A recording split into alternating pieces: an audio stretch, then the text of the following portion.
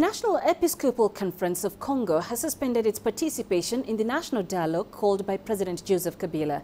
The influential Catholic Church says it had opted out of the dialogue following the deadly events of the past two days in the country. The church has yet to state when they will return to the dialogue.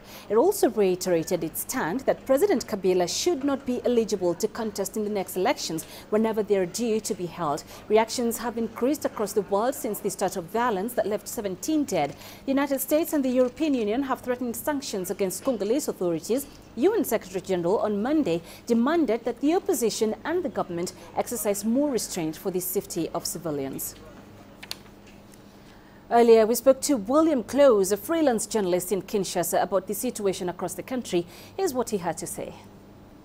The move by the Catholic bishops um, is very significant because um, they were supporting, uh, against uh, expectation, the uh, dialogue organized by the president between the opposition and his supporters uh, in an effort to find a sort of peaceful route out of uh, out of this uh, constitutional impasse um, in order to pick a date for peaceful and credible elections.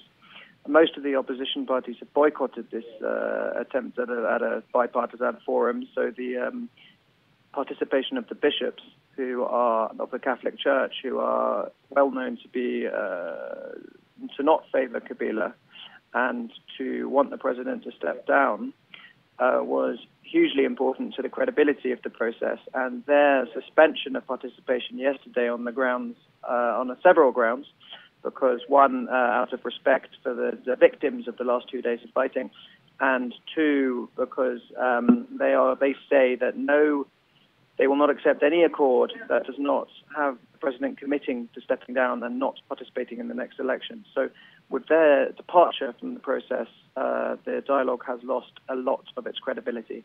The violence uh, continued through Monday into Monday night and into Tuesday, but uh, by uh, mid, early to mid afternoon on Tuesday, a sort of tense calm had been restored to the city, and that uh, that calm has endured overnight and into this morning.